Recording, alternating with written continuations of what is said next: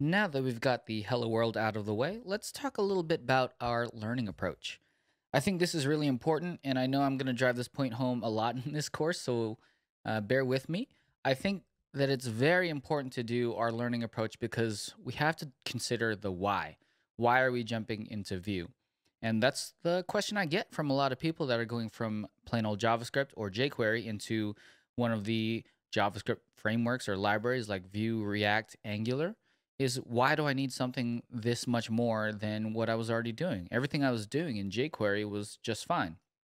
We're going to take a beginner's approach as if you were coming from vanilla JavaScript. And throughout this course, we'll talk about why you would want to upgrade to something like Vue or Angular or React. Well, Vue in this case. We actually did a survey on the site a while back and we asked for what is your current JavaScript experience. And most of you said jQuery and vanilla JavaScript was it. And only a few of you had been using the Angular JS, React, or Angular, which is V2+. And also, when asked about your level of JavaScript, most of you were right in the middle, medium sort of experience. So I think that that kind of says a lot about our current landscape of JavaScript developers. A lot of us are JavaScript or jQuery developers working on applications, websites, all that good stuff.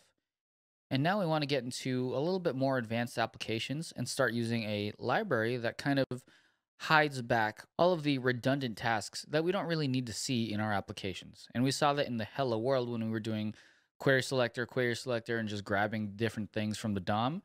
With our JavaScript libraries like Vue, we don't really have to do any of that. Vue just knows, hey, we're going to bind to this variable wherever it is. So there's none of that code where we grab and listen for events or anything like that. It's all kind of hidden behind the scenes, which is really great and it simplifies our code a lot. With all of these surveys and all that information out of the way, we're going to treat Vue as if this was your first JS framework. And this is a good approach, I think, because we're going to do a lot of work where we start in JavaScript and we kind of see how scaling that doesn't really scale well. And then we'll move into Vue and we'll see how Vue solves those problems. This is how we're going to drive home the point of why you would want to use Vue. And in moving to Vue, you have probably started to see the JavaScript ecosystem at its whole and how it's been moving in the last couple years. The current state of JavaScript is a lot of people are starting to use Node and NPM like we did for lite-server. And that's not even if you're writing Node applications. Node is a great tool, especially NPM, Node Package Manager, to bring in the packages we need. So you see a lot of NPM and a lot of Node in the current JavaScript applications. Everything right now is considered a package. And this is a great thing because it keeps our applications modular and we can just bring in the things that we need here and there. Notice we installed Vue from a script tag and we added jQuery from a script tag. We could also use NPM to bring down those packages and use those in our application. We would just do npm install jQuery or npm install Vue.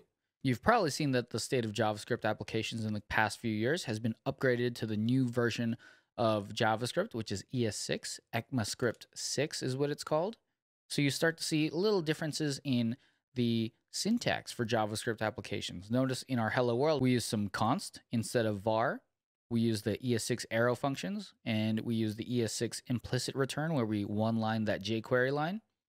And you've also probably seen in the JavaScript world transpilers, and that's like Babel, Babel, Babel, one of the two, and TypeScript, where you can take ES6 code and compile it down to ES5 code so that our browsers can understand it. And that's because some browsers don't fully support ES6 syntax just yet.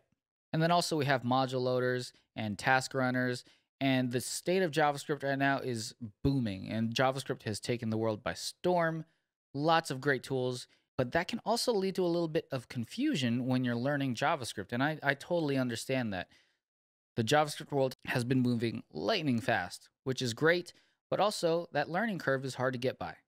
This is one of the reasons why Vue is a really, really great tool for a lot of people, is because with Vue, you don't really need to know all of these things. With Vue, you can start with your current tool set of JavaScript, add in Vue, and start using Vue. And then as you start to grow your JavaScript repertoire, your tool set, you can start to add NPM and Node. You can start to add more packages, ES6, transpilers, and all that good stuff.